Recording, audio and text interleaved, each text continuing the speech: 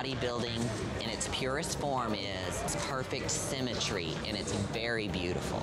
A competitive female bodybuilder's goal is not unlike her male counterparts. It's about achieving a highly defined physique that can only be obtained by increasing muscle mass while decreasing body fat. To do this, bodybuilders work out and watch their diet obsessively year-round. When you're doing an off-season cycle, you're taking things that are going to help you build muscle mass or put on weight. When you're getting ready for a show, you're doing like a cutting cycle. So you're using things that are going to help you decrease your body fat, and define the muscles. The things include pharmaceuticals like anabolic agents, male testosterone, and other growth factors to build muscle mass. When you see those people in magazines, that is an attained look for that day only. And that papery thin look is accomplished by critical dehydration. That means the removal of nearly all the water from the body's underskin.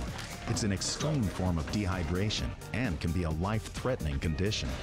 Prepare to enter an American subculture dedicated to the female human body as Herculean superhero. And how does a woman go from this This was her before picture before she moved to California. to this? The level of the sport demands a lot of things. To get that hard and get that big, then you do have to take steroids. This is a part of my sport.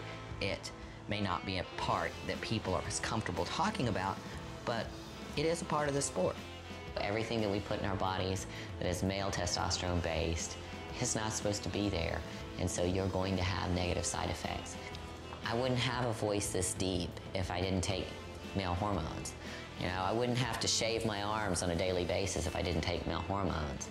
And I wouldn't have the thickness of muscle density that I have if I didn't take male hormones. And once you get to one point, you cannot put the genie back in the bottle. In other words, once a woman beefs up, it's not that easy for the body to revert to a more natural look. The effects of anabolic steroids use can last for years, even a lifetime. When we got into this, I told her, as long as her facial structure doesn't change, we're good. But we're not going to get into that level of so called gear that does that.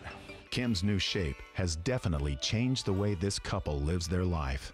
With an instinct for one of the latest pop culture trends, Lauren has literally taken a step in a new direction. From the bodybuilding scene, I'm kind of crossed over to being a dancer. I am amazed how she takes the pressure because when I met her, I was very sorry for her because everybody thought, oh my gosh, she looks like a man. She's not like a woman at all. Maybe she was a man. I get sensitive and I get my feelings hurt because I think the general public are so mean. They're just so mean and they're so quick to judge. And you don't even know me. Lauren is no longer taking supplements to beef up her body. I'm trying to let my body recover, and so I want to be feminine. I am all girl. I'm just a girl. Transitioning into a girly girl. Nobody can believe it. What's behind their fixation?